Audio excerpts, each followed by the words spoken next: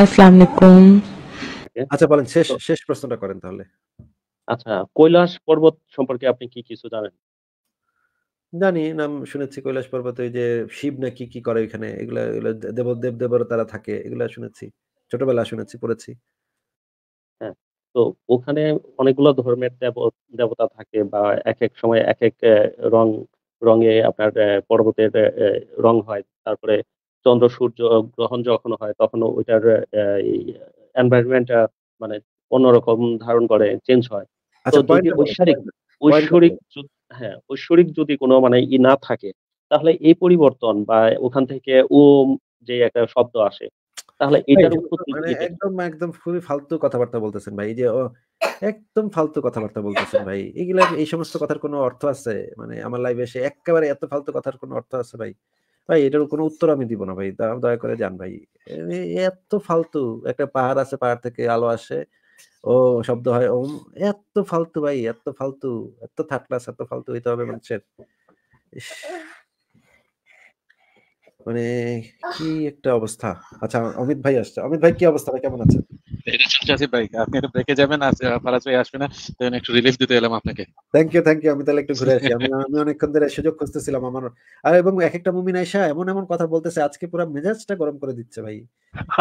এই হিন্দু মুমিন আসছিল একটু আগে হিন্দু মুমিন এসে বলে কৈলাস পর্বতে নাকি ওম শব্দ হয়। চিন্তা করেন কি মানে কি কি আলো আসে কৈলাস পর্বতে কে কি কি আলো আসে এটা না এটা দেবতা ছাড়া কে করে এই আলোটা?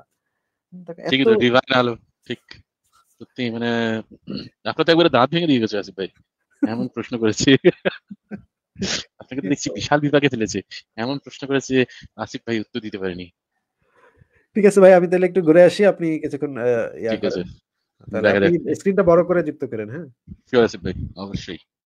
রুলস উইল বি ফলোড ঠিক আছে দেখি কে আছেন আমাদের সাথে। আশা করি সবাই ভালো আছেন। অনেকদিন বাদে যুক্ত হলাম। আজকে নিতান্ত? ফারাজ ভাই দ্য আলফা মেল তিনি নেই তাই জন্য আমি একটুখানি সাইড থেকে একটুখানি যুক্ত হয়ে গেলাম।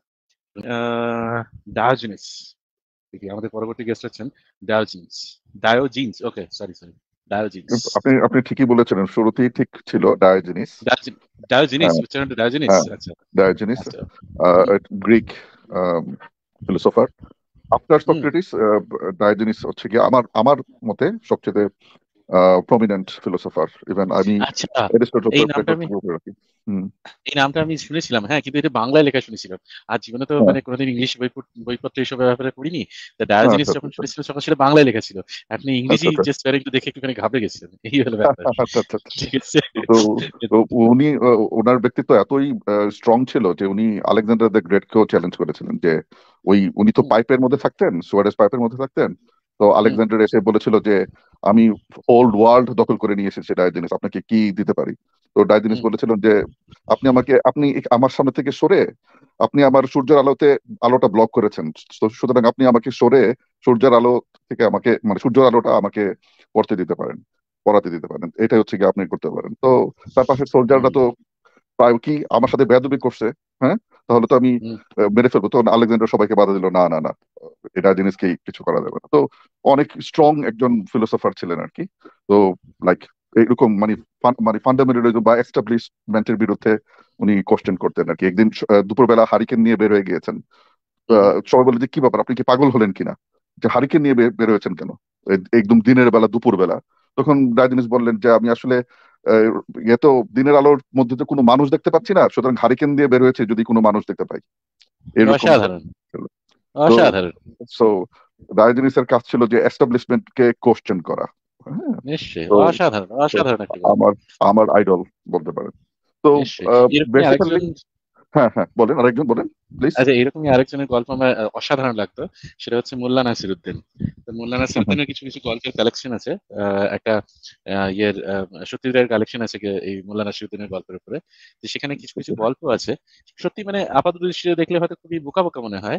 কিন্তু একটুখানি ভেবে তলিয়ে দেখলে তার হ্যাঁ একটা বেশ সুন্দর একটা ফিলোসফি আছে এর মধ্যে। অসাধারণ অসাধারণ। এই কথাটা তো দেখুন এই কথাটা কত কত একটা সিম্পল কথা যে আমি বেরিয়েছি আমি মানুষ দেখতে পাচ্ছি না যদি হারিকেন নিয়ে বেরোলে দেখা যায় আর কি। কথা কিন্তু হ্যাঁ। এটার ইয়াতে ভিতরে অত্যন্ত স্ট্রং মেসেজ কিন্তু দিয়েছেন। তো দারুণ জিনিস ছিলেন বলতে হবে।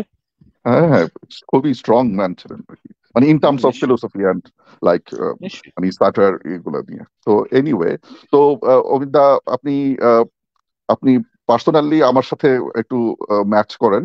কারণ আপনিও আপনি একজন ফিজিশিয়ান আই সোফ আই নো তো আমিও physician so from medical profession so যদিও আমি আচ্ছা। একটু ইয়েতে আছি। তো আমি এই ফর প্রফেশনাল কারণে আমি রেগুলারলি আসিফের সাথে জয়েন করতে পারি না।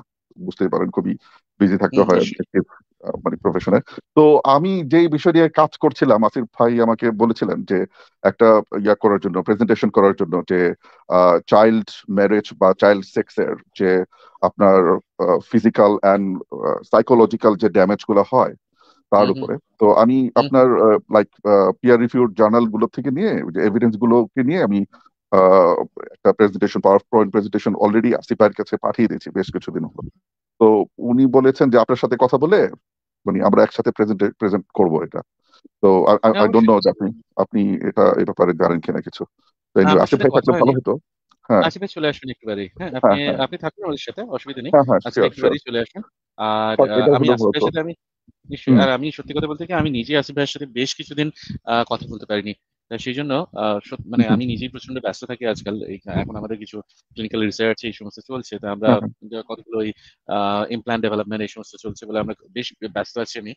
মানে ওই লাইভ শোনা পর্যন্তই হয় আর কি সেই জন্য লাইভ শোনা পর্যন্ত হয় আপনি এই, অমিতা আপনি আপনিও ক্লিনিক্যাল রিসার্চের ব্যাকগ্রাউন্ড অ্যাজ ওয়েল হ্যাঁ আমি মেডিকেল পরে আমি তারপরে আর পোস্ট গ্রাজুয়েশন না করে আমি হ্যাঁ হ্যাঁ। বায়োমেডিকেল নিয়ে এমটেক হ্যাঁ হ্যাঁ ইকুইভ্যালেন্ট কোর্স করেছি আর কি তারপরে আমি রিসার্চ লাইনে আমি এখন সেখান তখন থেকে রিসার্চ রিসার্চ লাইনে আছি। হ্যাঁ এক্সেলেন্ট কিছু নেই এর মধ্যে যথেষ্ট ফ্রাস্ট্রেশন আছে। অনেক সময় যে হাইপোথিসিসটা ভাবলেন যে এটা হয়তো কাজ করে আদতে দেখা গেল এই জিনিসটা কাজ করে না। তখন সেই যে বছর খানেকের পরিশ্রম সেটা হচ্ছে পুরো মনে হলো চলে গেল। হ্যাঁ আবার নতুন করে খিচিগন্ডুস করে রে আবার নতুন করে লাগরে। তাই এই জিনিসটা খুবই খুবই মানে সামটাইম ইটস ফ্রাস্ট্রেটিং কিন্তু যখন এটা কাজ করে যখন আমরা দেখি we are getting some results and মানে আমরা মানুষের একটা বেনিফিটের জন্য কাজ করছি তখন সেটা অবশ্যই ভালো লাগে তাই না?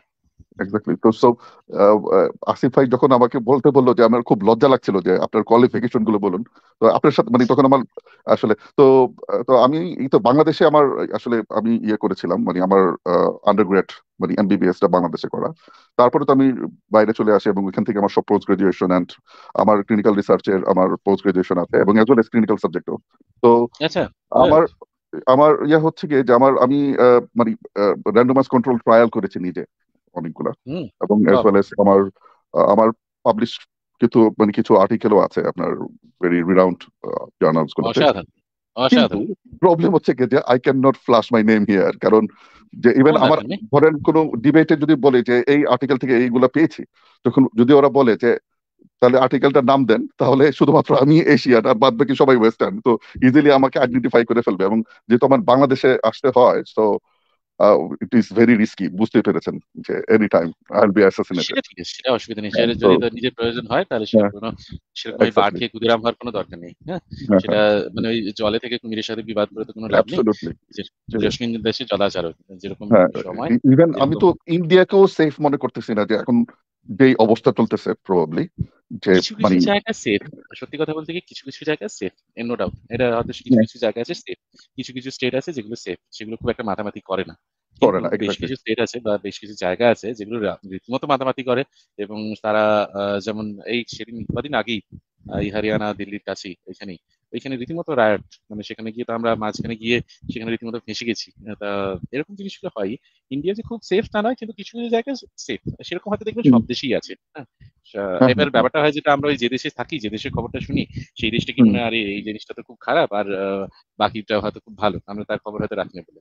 ওই আর কি, মানে এই যে ইন্ডিয়ান সাবকন্টিনেন্ট এগুলো হচ্ছে সবই ওই কি বলে মানে একই কয়েনের এপিটোপিট ওয়েল সেই ক্ষেত্রে তো আপনার ইউএসও সেফ না আপনার ইভেন পুলিশ দিয়েও আপনাকে ইজিলি হ্যারাস করতে পারে এবং you can die from there মানে যে আপনার অনলি ফর আপনার স্কিন দেখে আপনাকে হ্যারাস করতে পারে যে তারা সন্দেহ করল they can do anything so USO যে আপনাকে ভালো বলব বা এক- একতরফা মানে আমি বিকজ অফ মানে আমরা সেই- আমরা একতরফা জাজমেন্টাল না হয়ে আমরা বলতে পারি না যে ইন্ডিয়া খারাপ বা বাংলাদেশ খারাপ কিন্তু আমি জাস্ট যেই যেই নিউজগুলা পাচ্ছি ধরেন ওদের ওরা তো আপনার আমাদের আমি আমি মাইন্ড করেন আপনি তো I think background from India isn't it নিশ্চয়ই হ্যাঁ তো যেই যেই আপনার ইয়াগুলা দিচ্ছে যে কি- বলে আপনার নিউজ চ্যানেলগুলো তো I think totally corrupt and but যারা ইন্ডিপেন্ডেন্টলি ইউটিউবে এরকম করে যাচ্ছে লাইক আপনারা আসিফ ভাই আপনারা যেভাবে করছেন তাদের থেকে তাদের যে ইয়াগুলো মানে ব্যাখ্যাগুলো মাঝে মধ্যে শুনি যে এটা আস্তে আস্তে তো এক্সট্রিমিজমের দিকে চলে যাচ্ছে। মানে মানে এই সব মানে পরিস্থিতি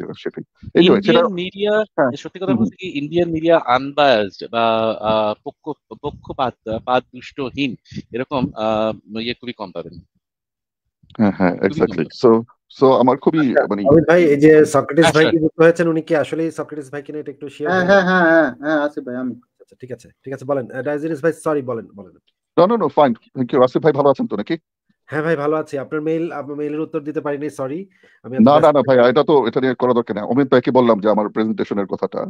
হ্যাঁ আমরা মানে অ্যারেঞ্জ করব একটা মানে আলোচনার অ্যারেঞ্জ করব যেখানে আমরা মুমিনদেরকেও ইনভাইট করব এবং আমরা তুলে ধরবো যে এই জিনিসটা যে আসলে খুবই ক্ষতিকর এবং তারা যেই মতাদর্শটা প্রচার করে সেটা যে কতটা ভয়ঙ্কর ক্ষতিকর সেটা আমরা করব একসময় করব।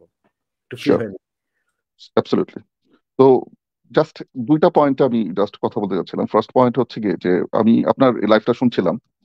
তো কিছুক্ষণ আগে এক মানে গ্রুপ অফ পিপল যে কথা বলছে, যে যে খারাপ ভাষা আপনাকে ইউজ করল, যখন আপনি একসাথে একা লাইফটা করছিলেন, খুব গালি দিল, খারাপ গালি দিল একটা, কতগুলা।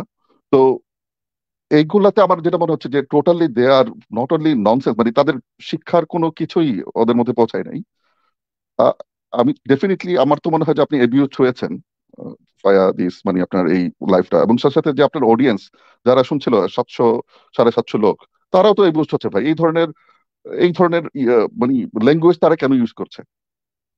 মানে কিন্তু ভাই এটা তো মানে মানে যতদিন থেকে নাস্তিক হয়েছে সেই প্রথম হ্যাঁ। দিন থেকেই তো এই জিনিস হ্যাঁ। চলছে এটা তো আজকে নতুন কিছু না। হাজার হাজার আমার ফেসবুক প্রোফাইলে লাখ লাখ আপনি কমেন্ট দেখতে পাবেন এগুলা। ডেফিনেটলি কিন্তু অন ইয়ার এটা তো একটা একটা পাবলিক একটা ইয়ে হচ্ছে।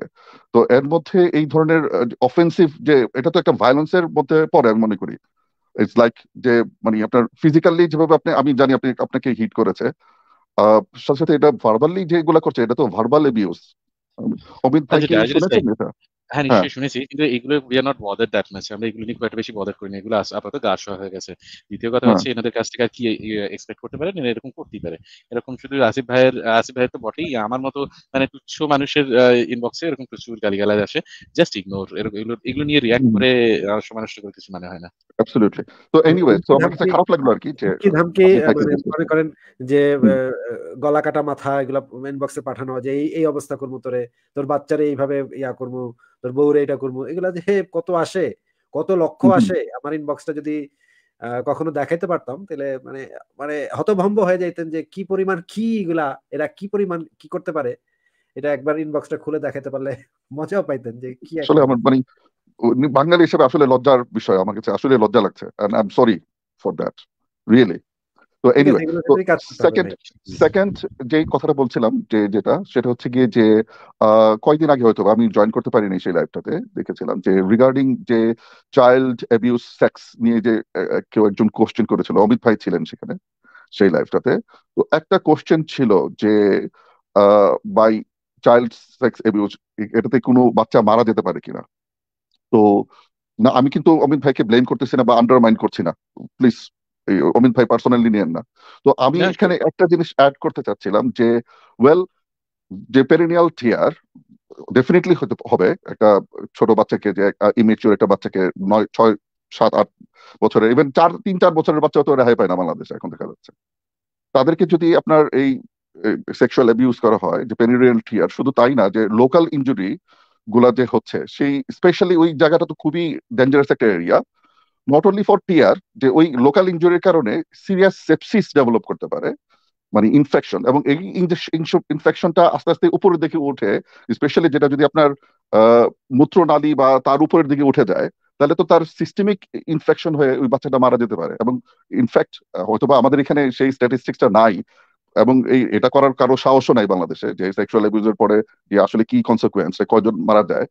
এই জন্য হয়তো আমাদের কাছে স্পেসিফিকলি নাই। কিন্তু এটা তো স্পেসিফিক্যালি ভেরি ক্লিয়ার যে ওইখান থেকে সিরিয়াস ইনফেকশন ডেভেলপ করতে পারে এবং বাচ্চারা ডাইরেক্টলি মারা যেতে পারে এ কনসিকুয়েন্স এবং এটা অব- অবাক হওয়ার কিছু নাই। তো সো এটা তো খুবই ডেঞ্জারাস কথা যে এখানে যে আপনার পুরা ওই ভ্যাজানাল ওয়াল টিয়ার হয়ে পেরিনাল টিয়ার হয়ে রেকটাম যে আপনার যেটা বলছেন খুবই খারাপ কথা যে লেখালো যে কি দিয়া দিতে হবে, না দিতে হবে। তো ওইখান থেকে তো ইজিলি ইনফেকশন উপর দিকে ছড়ায় যায় পুরো বডিতে এটা এফেক্ট করতে পারে এবং বাচ্চারা মারা যেতে পারে। তো naturally my answer would be আমি যে কোশ্চেন করতেছি ইয়েস অবশ্যই এখানে মারা যেতে পারে এবং সিরিয়াস কনসিকুয়েন্স মানে ইভেন ডেথ হতে পারে। তো সেই জন্য এটাকে স্ট্রংলি প্রহিবিট করতে হবে। এবং যারা এখানে ইয়া করে, এটাকে প্রমোট করার চেষ্টা করে, ঠিক আছে, যে বাল্য বিবাহকে প্রমোট করতে হবে, তাদেরকে স্ট্রংলি প্রোটেস্ট করতে হবে। এটা হচ্ছে আমার বক্তব্য।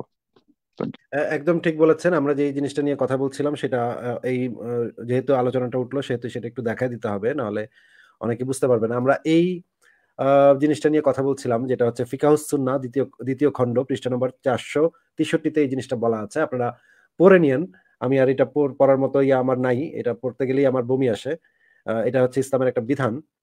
এবং আমরা এটাও দেখেছি যে সুন্নতি বাল্যবিবাহের বিরোধিতা, নবীজি ওনারই বিরোধিতা। এই প্ল্যাকার্ড নিয়ে বাংলাদেশে বাংলাদেশে মুমিনেরা আন্দোলন করেছে। এই প্ল্যাকার্ডও বাংলাদেশে প্রেস ক্লাবে টানানো হয়েছিল। বাল্যবিবাহ খাস সুন্নত, বিরোধিতা করা কুফুরি। তারপর দেখেন এই প্ল্যাকার্ড নিয়ে মানুষজন দাঁড়াইছে। পাঠ্যপুস্তকে সুন্নতি বাল্যবিবাহের বিষেধাগার করা যাবে না। মানে মানে বাল্যবিবাহ নিয়ে কিছু বলা যাবে না। হ্যাঁ, বাল্যবিবাহের বিরোধিতা করা যাবে না যেহেতু এটা সুন্নত নবীর সুন্নত। এগুলো অসংখ্য জিনিস আমরা বহুবার দেখিয়েছি কি ভয়ঙ্কর ভয়ঙ্কর বিষয়। সক্রেটিস ভাই বোধহয় কিছু বলবেন বলেন।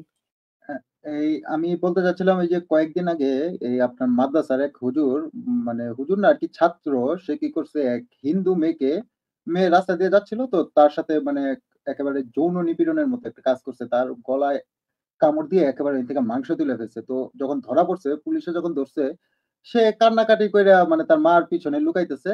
তো এই ভিডিও আপনার যখন ভাইরাল হয় তখন মানে এখানে মুমিন টাইপের কিছু আর কি আছে যারা লিখছে এরকম যে বাংলাদেশে তো কত অপরাধ হয় এদের তো কোনো বিচার হয় না আর তার দাড়ি টুপি আছে তাই তার বিচার হবে। হ্যাঁ, ইসলামের সেই ইসলামের খেদমত করতে গেছে তাই তার আজকে তাকে জেলে পড়তেছে। ভাই এরকম এরকম কথা লেখা শুরু করছে।